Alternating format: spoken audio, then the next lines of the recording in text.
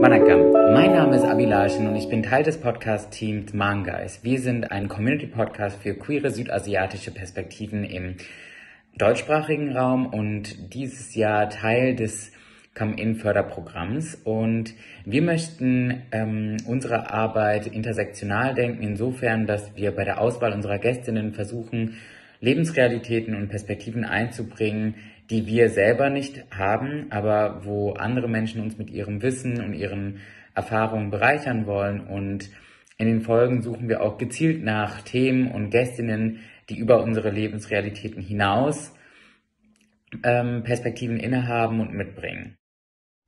Hi, ich bin Aditya Balamurali und ich bin Teil vom Manga Podcast.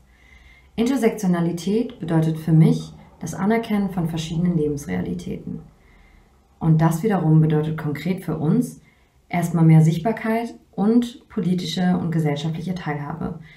Denn das Wissen, das wir aus unseren Communities mitgebracht haben, wurde lange von der deutschen Mehrheitsgesellschaft weder anerkannt noch geschätzt.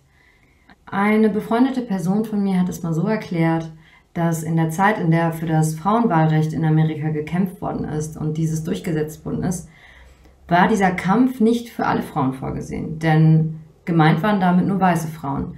Afroamerikanische Personen waren in diesem Begriff nicht einbegriffen, inbegriffen. So sieht man, dass das durchgesetzte Frauenwahlrecht nicht automatisch heißt, dass alle Frauen wählen durften.